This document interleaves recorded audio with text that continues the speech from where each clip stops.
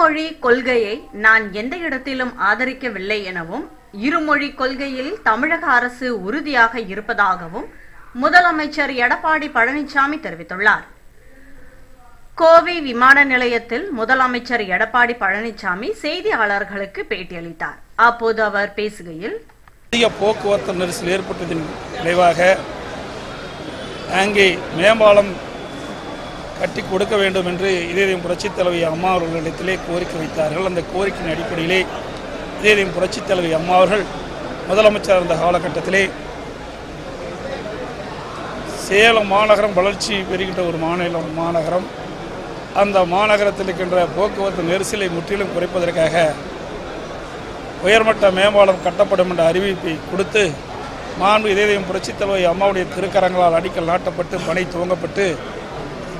நாளைய தினம் அந்த மேம்பால பணிகளிலே ஒரு பகுதி நாளை நான் மாண்புமிகு தெய்வம் புரட்சித் தலைவி அம்மாவுடைய அருளாசியோடு திறக்க இருக்கின்றேன்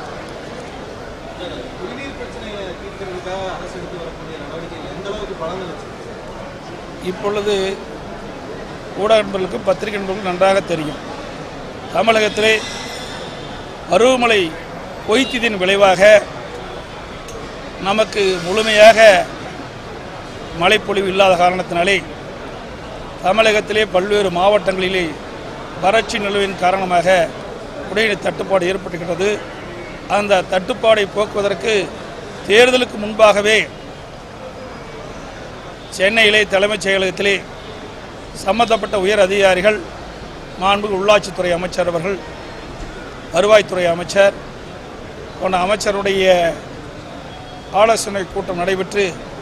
அந்த ஆலோசனை கூட்டத்திலே தேர்தல் வருகின்ற காலகட்டத்திலே வறட்சி ஏற்படுகின்ற பகுதியிலே குடிநீர் தட்டுப்பாடு ஏற்படும் அதற்கு தேவையான நிதியும் அரசு ஒதுக்கீடு செய்து அந்தந்த மாவட்ட ஆட்சித்தலைவர்கள் எங்கெங்கெல்லாம் குடிநீர் தட்டுப்பாடு இருக்கின்றதோ அந்த பகுதியை கண்டறிந்து உடனுக்குடன் நடவடிக்கை எடுத்து அந்த பகுதி மக்களுக்கு தடையில்லாமல் குடிநீர் வழங்க வேண்டும் என்ற உத்தரவை பிறத்தது அரசு அதன் அடிப்படையிலே மாவட்ட ஆட்சித்தலைவர்களும் முடிந்த அளவுக்கு குடிநீர் பிரச்சனை தீர்ப்பதற்காக தேவையான நடவடிக்கை மேற்கொண்டிருக்கின்றார்கள் பருவமழை போதிய அளவு பெய்யாத காரணத்தினால்தான் இந்த குடிநீர் தட்டுப்பாடு ஏற்பட்டிருக்கிறது இருந்தாலும் அரசு அதற்கு தேவையான நிதியை ஒதுக்கீடு செய்து குடிநீர் பிரச்சனை இன்னைக்கு தீர்க்க தீர்க்கப்பட்டு வருகிறது என்பதை தெரிவித்துக் கொள்கின்றேன்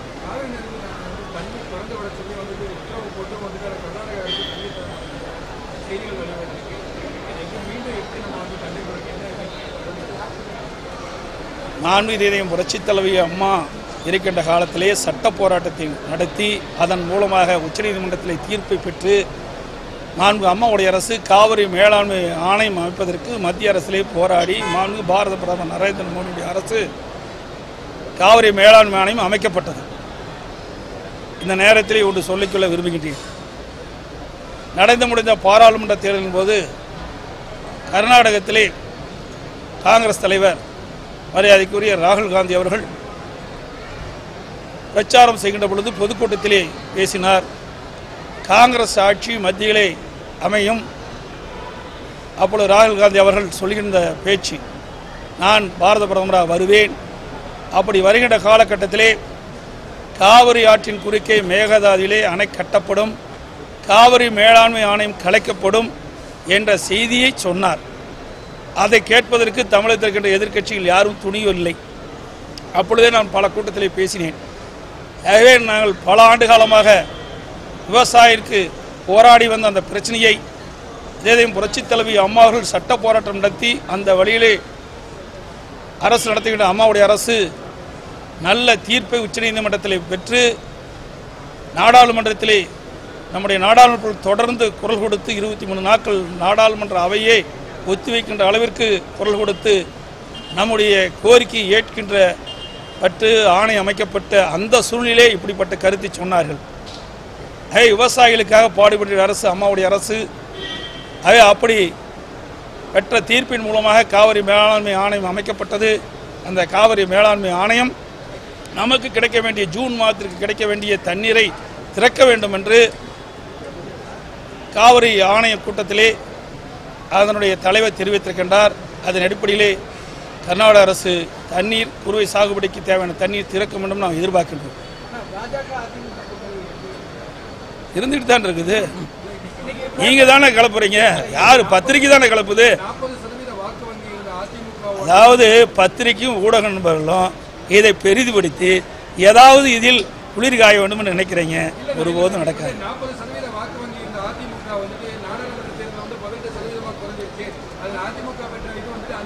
அதாவது நீங்கள் எண்ணி பார்க்க வேண்டும்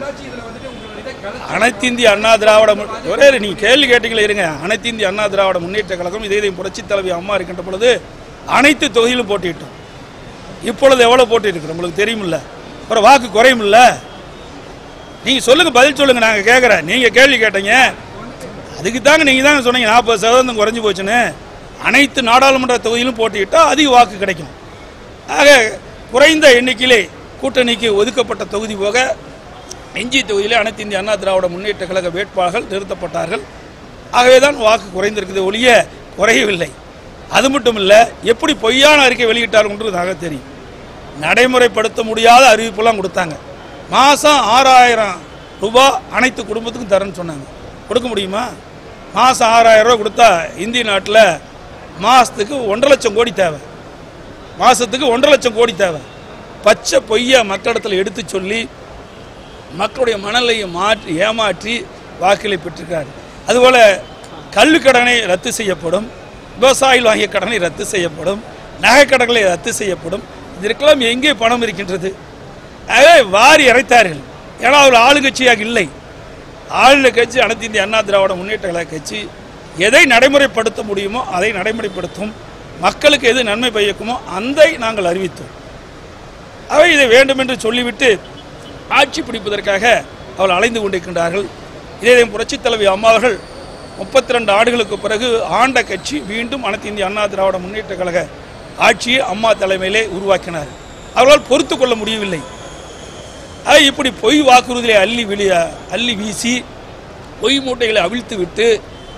அதன் மூலமாக வாக்குகளை பெற்றிருக்கிறார்களே தவிர உண்மையான வெற்றி அல்ல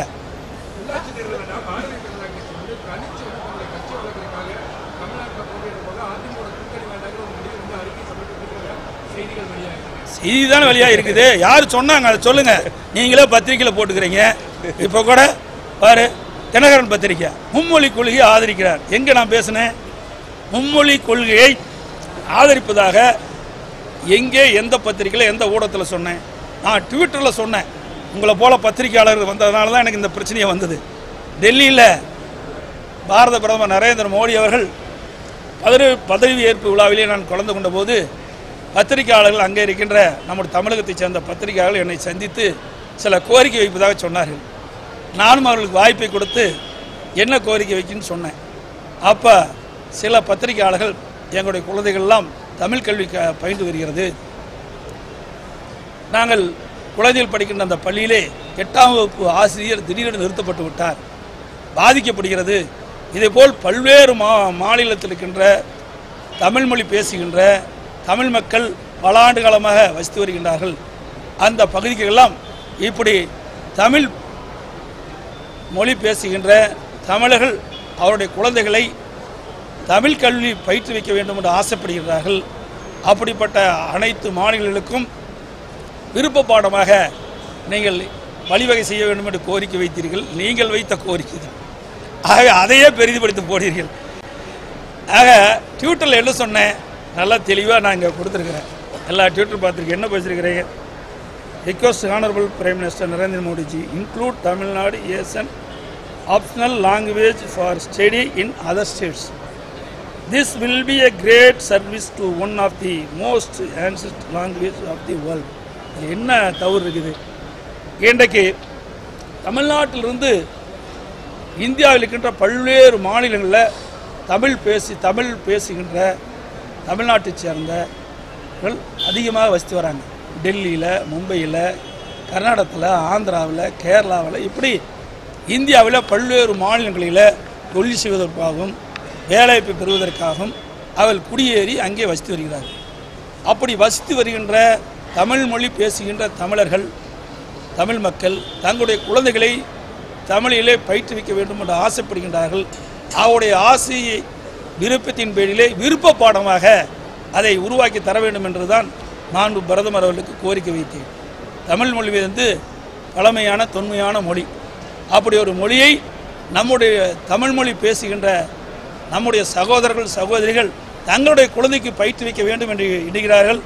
அதை செய்யக்கூடிய நிலையில் இருக்கின்றது மத்திய அரசு பாரத பிரதமர் தான் முடியும் மற்ற மாநிலத்திலே அந்த கோரிக்கை தான் நாங்கள் வைத்தோம் உடனடியாக பத்திரிகைகளை பார்த்தால் மும்மொழி கோயில்களை முதலமைச்சர் தெரிவித்தாரா ஆதரிக்கிறாரா அப்படின்னு மறைமுகமாக ஆதரிக்கிறாரா இப்படியெல்லாம் அரசியல் தலைவர்கள் சில எதிர்க்கட்சி சேர்ந்த அரசியல் தலைவர்கள் திராவிட முன்னேற்ற கழகம் விடுதலை சிறுத்தை கட்சி தலைவர்கள் எல்லாம் இன்றைக்கு ஊடகங்கள் வாயிலாக செய்தியை வெளியிட்டிருக்கிறார் உண்மையிலேயே வருத்தப்படுகின்றேன் ஏனென்று சொன்னால் ஏற்கனவே மாண்பு துணை முதலமைச்சர் தெளிவாக சொல்லிவிட்டார் பேரர் அண்ணா அவர்கள் பொன்மனச்சம்மல் புரட்சித்தலைவர் எம்ஜிஆர் அவர்கள் இதேதேவம் புரட்சித்தலைவர் தலைவர் அவர்கள் வழியிலே நடைபெறுகின்ற எங்களுடைய ஆட்சி இருமொழி கொள்கையில்தான் பின்பற்றி நடத்தும் அதில் உறுதியாக இருக்கின்றோம் அதேபோல் பள்ளிக்கல்வித்துறை அமைச்சர் தெரிவித்திருக்கின்றார் மீன்வளத்துறை அமைச்சர் தெளிவாக தெரிவித்திருக்கிறார் இதெல்லாம் அரசுடைய நிலைப்பாட்டை அனைத்து இந்திய அண்ணா திராவிட முன்னேற்றங்களுடைய நிலைப்பாட்டை ஏற்கனவே தெரிவித்து விட்டோம் இருந்தாலும் வேண்டும் என்று அரசியல் செய்வதற்காக நான் சொன்ன கருத்தை ட்விட்டரிலே வெளியிட்டப்பட்ட அந்த கருத்தை திருத்தி அரசியல் ஆதாயப்படுவதற்காக இப்படிப்பட்ட செய்தி வெளியிட்டுவதற்கு உண்மையிலேயே நான் வருத்தப்படுகின்றேன் ஏன் என்று சொன்னால் இன்றைக்கு இலங்கையிலே இருக்கின்ற தமிழர்கள் பாதிக்கப்படுகின்ற பொழுதோ நம்ம குரல் கொடுக்கிறோம் நம்முடைய இந்தியாவிலே வாழுகின்ற தமிழர்கள் தமிழ் மொழி பேசுகின்றவர்கள் இந்த எதிர்கட்சியெல்லாம் தமிழ் தமிழ் என்று சொல்லிக் கொண்டிருக்கின்றார்களே அவர்களெல்லாம் என்ன எண்ணுகிறார்கள் எனக்கு தெரியவில்லை என்னை பொறுத்த வரைக்கும் கோரிக்கை வைத்திருக்கின்றார்கள் தமிழ்மொழி பேசுகின்ற தமிழர்கள் பல்வேறு மாநிலத்தில் வசிக்கின்றவர்கள் உங்களைப் போல் இருக்கின்ற நிறுவர்கள் வைத்த கோரிக்கையின் அடிப்படையில் தான் இந்த ட்விட்டரில் இந்த கருத்தை நான் தெரிவித்திருக்கின்றேன் ஆகவே இப்படி இதற்கெல்லாம் இவ்வளவு ஆர்வமாக வேகமாக துடிப்போடு குரல் கொடுக்கின்ற எதிர்கட்சியினர் தேர்தல் பிரச்சாரத்தின் போது இன்றைக்கு தமிழ்நாடே பாலைவனமாகும் என்ற ஒரு சூழ்நிலை இருந்தாலும் கூட நமக்கு உச்சநீதிமன்ற அளித்தின் தீர்ப்பை கூட இன்றைக்கு முறையாக கர்நாடக அரசு பின்பற்றவில்லை இந்த சூழ்நிலையிலே காங்கிரஸ் கலை காங்கிரஸ் தலைவர் திரு ராகுல் காந்தி அவர்கள் தேர்தல் பிரச்சாரத்தின் போது கர்நாடகத்திலே நடைபெற்ற ஒரு பொதுக்கூட்டத்திலே நான் ஏற்கனவே சொன்னதை போல காங்கிரஸ் ஆட்சி மத்தியில் ஏற்பட்டவுடன் ராஜீவ்காந்தி ராகுல் காந்தி அவர்கள் பிரதமர் ஆனவுடன் முதல் வேளையாக காவிரி ஆற்றின் குறுக்கே மேகதாதுவிலே அணை கட்டப்படும் காவிரி மேலாண்மை ஆணையம் கலைக்கப்படும் இதற்கு எதிர்க்கட்சி தலைவர்கள் என்ன சொல்கிறார் என்பதை நான் கேட்கின்றேன் அது மட்டும் இல்லை நாங்கள் வந்தால் தமிழகத்திலே பாலாறும் தேனாரும் ஓடும் என்று சொல்கிறார்கள் இவரெல்லாம் வந்து விட்டார்கள் மத்தியிலே குரல் கொடுத்து இந்த தண்ணீரை பெற்றுத்தருவதற்கு நான் நடவடிக்கை எடுப்பார்கள் என்று நான் எண்ணுகிறேன் அது மட்டும் இல்லை அங்கே கர்நாடகத்திலே காங்கிரஸ் ஆட்சி தான் நடைபெற்றுக் கொண்டிருக்கின்றது கூட்டணி ஆட்சி தான் நடைபெற்று கொண்டிருக்கின்றது ஆகவே இங்கே இருக்கின்ற காங்கிரஸ் நாடாளுமன்ற உறுப்பினர்களும் திமுக நாடாளுமன்ற உறுப்பினர்களும் அங்கே இருக்கின்ற நீர்வளத்துறை அமைச்சர் மாண்பு அமைச்சர் திரு சிவக்குமார் அவர்களிடத்திலே எடுத்து சொல்லி நமக்கு கிடைக்க வேண்டிய பங்கு நீரை திறந்து விட கர்நாடக அணையிலிருந்து திறந்து விடுவதற்கு அவர்கள் முயற்சி செய்ய வேண்டும் முயற்சி செல்லலாம் என்று நான் எதிர்பார்க்கின்றேன்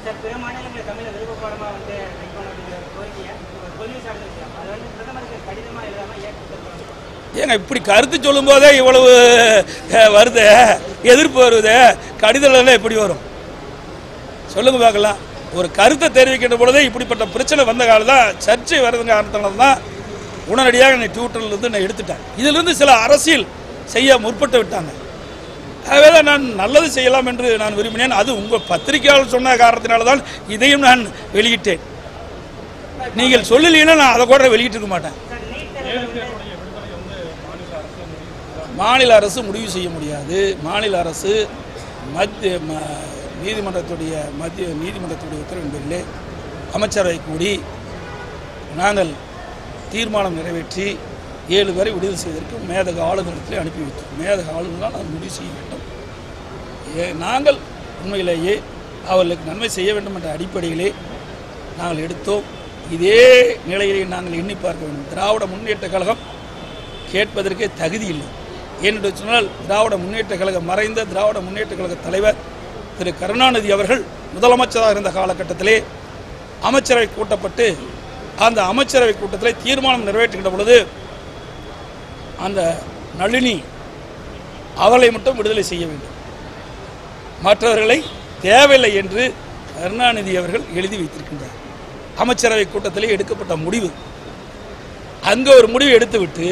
எளியிலே வந்து விடுதலை செய்ய வேண்டும் என்று சொல்கின்றார்கள் இவருடைய காலத்திலே ஏன் செய்யவில்லை ஏன் அந்த முடிவு எடுத்தார்கள் ஏதாவது கேட்குறார்களா எந்த எதிர்கட்சியும் குரல் கொடுக்கவில்லையே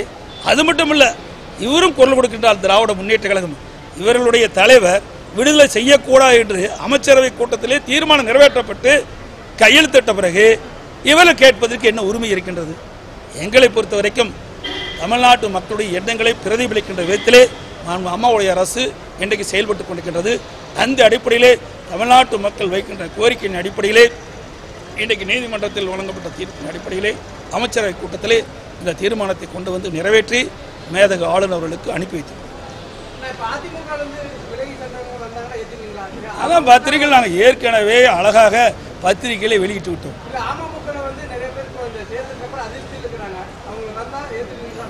ஏற்கனவே பத்திரிகைகளை வெளியிட்டுட்டுமே வந்துக்கிட்டு தான் இருக்கிறாங்க இப்போ கூட இந்த ரெண்டு நாளைக்கு முந்தைய பாப்புலர் முத்தையா அவர்கள் வந்தாங்க my Michael Rai Michael Rayappan அவர்கள் வந்தாங்க இன்னும் நிறைய இப்படி பல பேர் வந்து கொண்டிருக்கின்றார்கள் அமமுகவிலிருந்து விலகி எங்களுடைய தாய் இயக்கத்துக்கு வந்து கொண்டிருக்கின்றார்கள் பெரும்பாலானவர்கள் விரைவில் வந்து சேர்வார்கள் அதற்கு தேவையான அழைப்பை நான் ஒருங்கிணைப்பாளர் மாண்புகு அண்ணன் துணை முதலமைச்சர் அவர்களும் துணை முதலமைச்சர் ஓ பன்னீர்செல்வம் அவர்களும் நானும் இணைந்து தலைமை கழகத்தின் வாயிலாக அறிக்கை வெளியிட்டிருக்கிறோம் அவர்கள் படிப்படியாக தாய் கழகத்திலிருந்து இணைந்து கழக பணியாற்றுவார்